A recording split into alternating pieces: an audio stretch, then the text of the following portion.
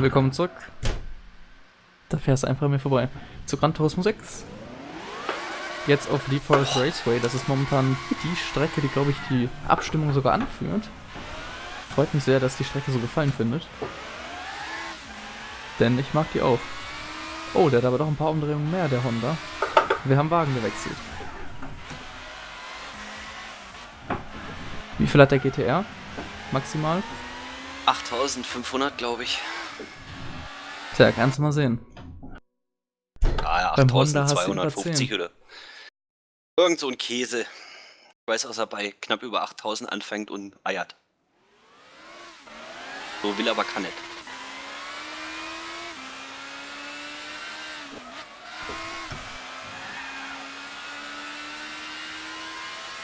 Wir fahren die Wagen übrigens komplett getuned. Wie er da angeschossen kommt hinter mir. Wie er da rausgeschossen kommt hinter mir.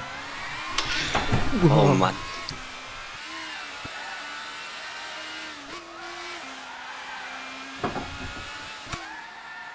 Ja, ich muss ein bisschen Abstand lassen, sonst hänge ich dir zwei Kurven später wieder auf die Sto- Stoßstange.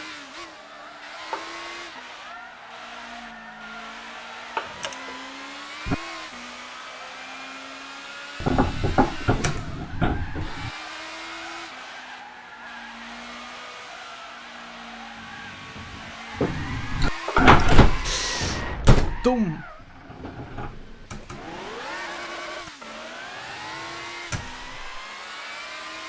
Wenn übrigens irgendeiner Langeweile haben sollte, dann ähm, schnapp dir doch mal einen GT500 Wagen. Mach eine Online-Lobby für dich selbst auf.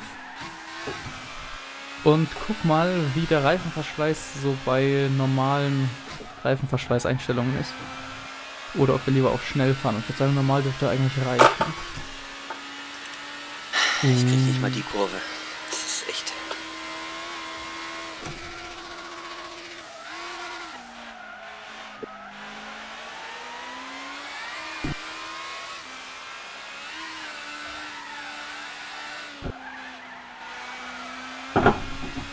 Also mit dem Honda muss ich schon aufpassen. Aber der bricht mir irgendwie schneller aus. Vielleicht ist die Klasse einfach zu groß für diese kleine Strecke. Ja, finde ich nicht. Ich habe im dritten drehen die Hinterräder noch durch. Ja.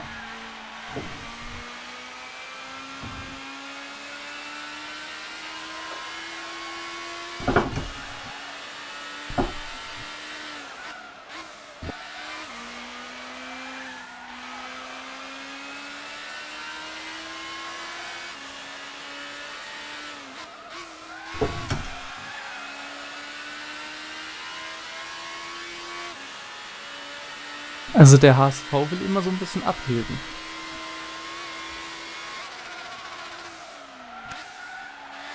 Im Gegensatz zu dem anderen HSV. Der Hamburger Sportverein will nicht so abheben.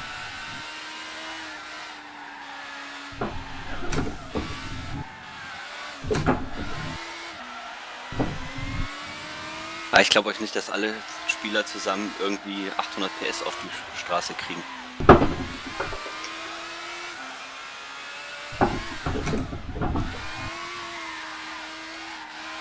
Ich bin ja immer noch der Meinung, dass sie bei den Autos scheiß auf die KW-Zahl.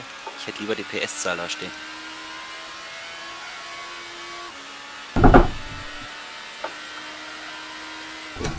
Warum?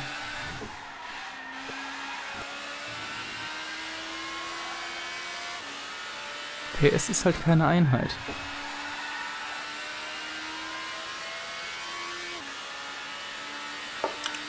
Uh, Bestzeit.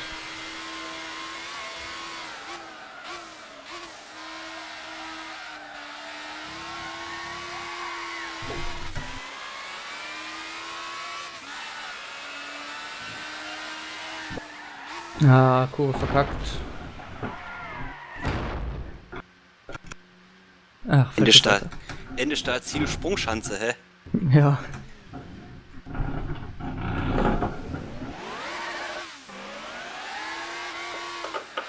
Oh, oh, oh, oh, böse. Ah, fahr. Ja, okay, fahr doch nicht an mir vorbei, du hast ja die Kontrolle verloren.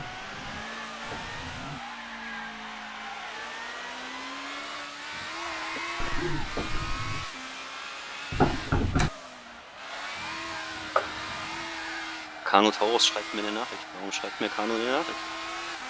Wahrscheinlich, weil er sieht, dass wir beide online fahren.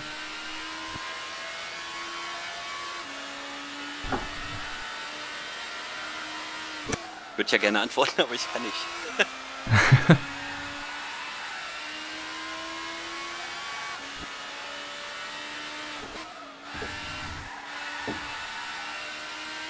Also momentan finde ich, kann man nicht feststellen, dass der HSV irgendwie OP ist. Er ist OP, wenn man eine Leistungsbeschränkung drin hat. Also wenn er jetzt den GTR auf die 448 hat, der HSV, ne? 648. Äh, 648 meine ich ja. Danke für die Korrektur. Ähm, wenn er den da wenn er den da drauf runtertunst, dann ist der HSV natürlich wesentlich stärker. Aber so.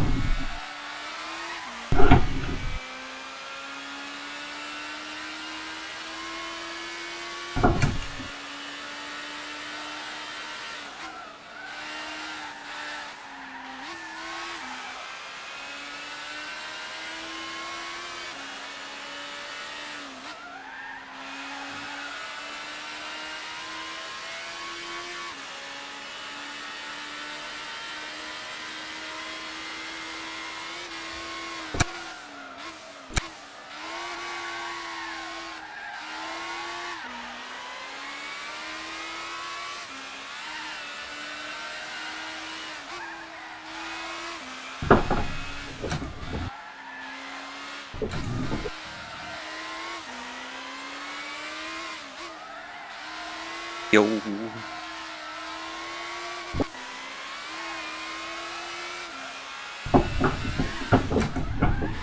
Weißt du, wenn du die Kisten nicht beim, nicht beim Anbremsen schon querstellst, spätestens beim wieder aufs Gas latschen. Genau das.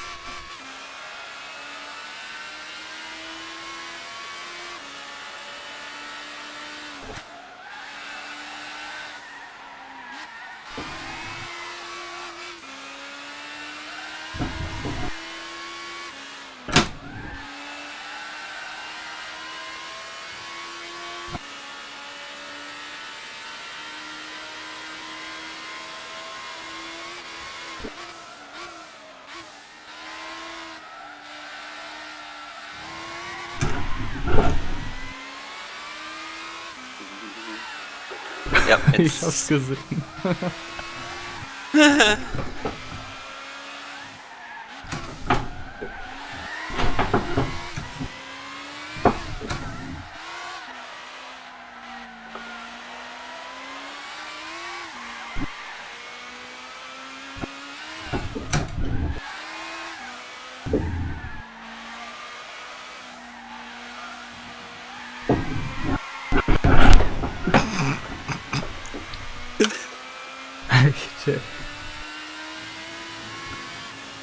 Mann, Mann, Mann.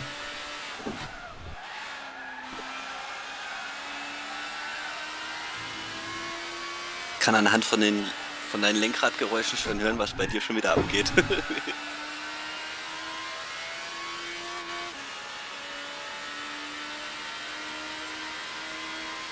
Also ich fahr konstant so 8er, 9er Zeiten. Die 5, 6 ist irgendwie ein Ausrutscher gewesen, da komme ich nicht mehr dran.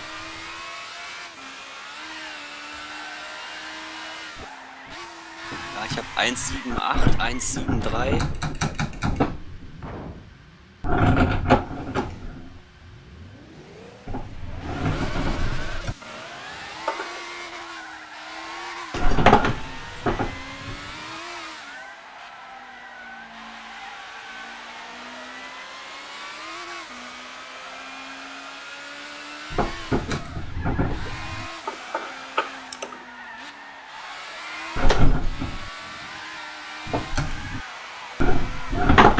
unglaublich.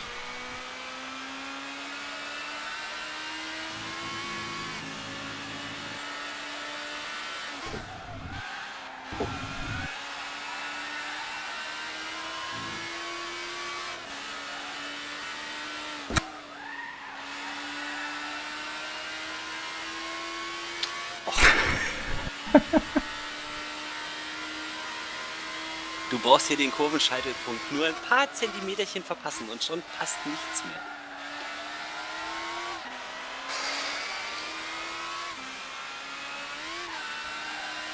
Tragisch.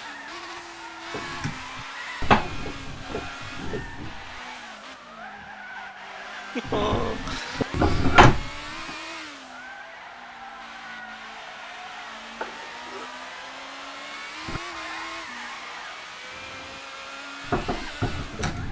online einstellen lässt sich also nichts mehr. Nope. Scheiß E. Dann brauchst du mir auch nicht aufs Lenkrad legen, wenn ich es eh nicht einstellen kann. Ich glaube, in normalen Online-Rennen kannst du einstellen. Bloß halt in diesen Zeitdingern nicht.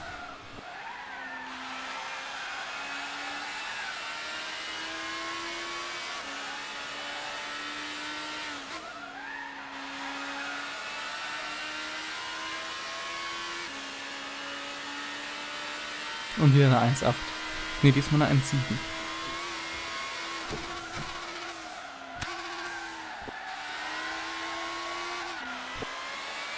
Ich habe jetzt 1,5 und bin noch nicht mal im Ziel.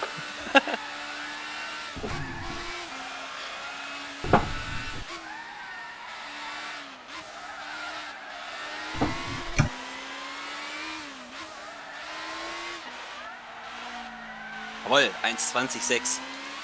Überragend.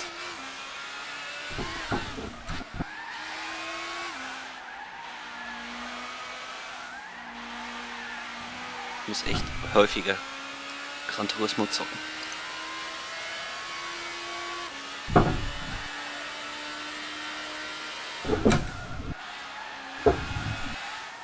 Kleiner Hinweis noch an die, die Platin noch nicht haben.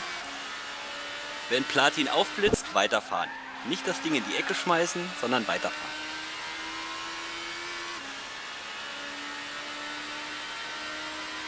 Eins null sechs.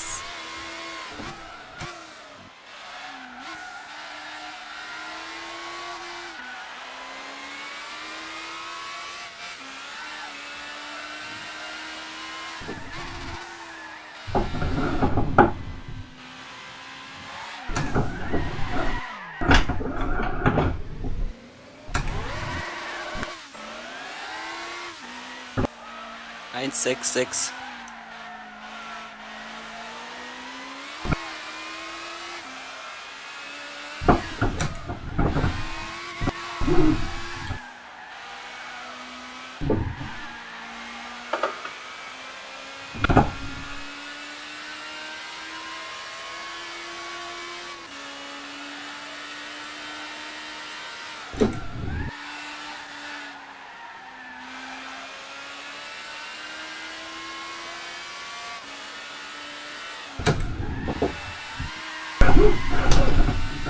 Hohoho.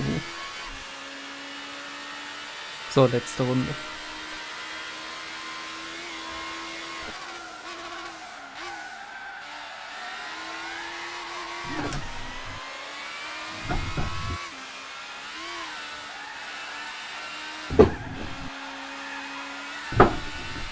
Ja!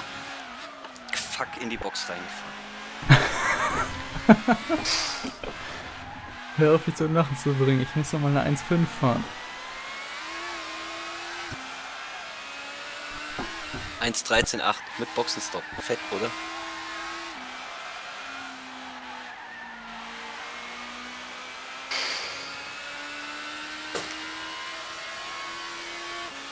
Dabei habe ich den Curb schon ideal getroffen. Und dann setzt im vierten Gang noch mal kurz Wheelspin ein und dann geht's.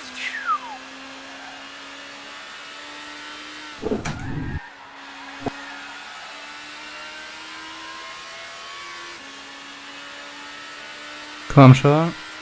Boom. in der letzten Runde nochmal eine neue Bestzeit rausgehauen. So, an der Stelle schon mal ein kleiner Hinweis für die Leute, die an der Meisterschaft teilnehmen. Diese Stelle hier, also wir fahren natürlich ohne Strafen, aber wer hier drüber fährt, wer das zu häufig macht, wird disqualifiziert. Sollte sich von selbst verstehen, ja. Um den Wagen abzufangen, drüber fahren, kein Problem. Um einer Kollision aus dem Weg zu gehen, kein Problem. Solange muss sich keinen Vorteil dadurch verschafft, wenn man da öfter drüber fährt, dann tut's mir leid, Disqualifikation. Videoanalyse erfolgt nach jedem Rennen. Mach es vorbei. Ja, durchaus. Also wenn irgendjemand mir irgendwas schreibt, von wegen, ja, der äh, hat da und da abgekürzt oder so, dann gucke ich mir dann. Und wenn ich das für wahr befinde, dann gibt es eine Strafe, die halt im schlimmsten Fall Disqualifikation ist. Ansonsten eine Zeitstrafe von 10 Sekunden oder was? Yes. So, Epic Conclusion. Ist der HSV jetzt stärker als der GTR? Ich glaube nicht so. Nicht unbedingt. Also die Strecke liegt mir eigentlich ganz gut. Und ich war jetzt wie viel? Anderthalb Sekunden vor dir? Ja, 1,1. Siehst du, das ist ungefähr das, was wir auf, auf Laguna Seca mit anderen anhatten. Also unsere Conclusion ist, HSV und GTR sind ungefähr gleich stark, wenn man sie nicht aufs gleiche LP-Niveau runterdrosselt. Und in der nächsten Folge testen wir natürlich nochmal ein paar andere Wagen. Wie zum Beispiel den, den ich wahrscheinlich fahren werde. Bis dann. Tschüss.